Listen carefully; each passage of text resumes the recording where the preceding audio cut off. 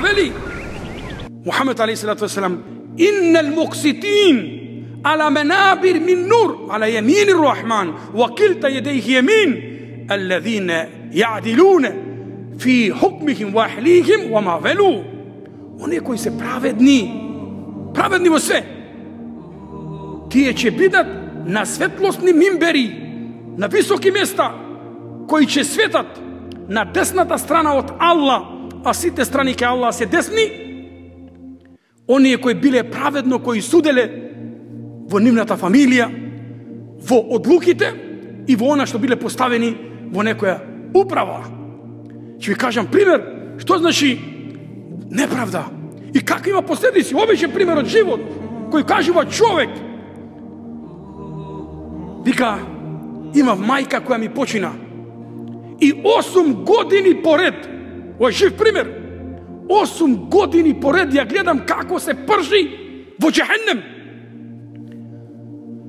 А вика јас имав полубрат. Татко ми бил женет предходно.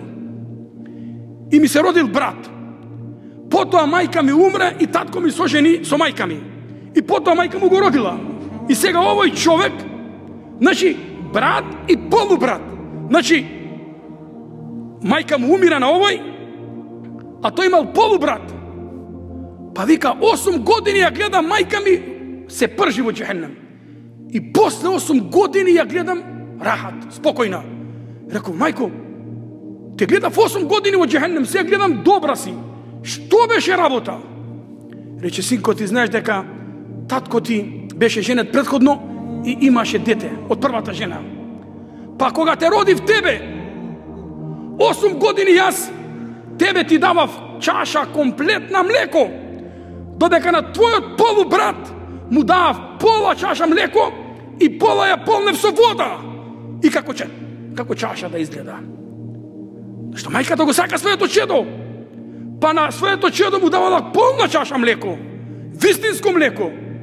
Додека на она кое не е било незино чедо, му давала пола чаша млеко вистинско и пола е полнала со вода. И тоа го правев 8 години. Поради тие 8 години што бев неправедна, Аллах за оджеле 8 години ме пржеше во джехеннем во неуду билля. Затоа праведност, драги браќа. И затоа, кога веќе сега ние имаме избори, тоа е политика, али треба да биде свесен дека секој од нас има одговорност пред Аллах за оджеле.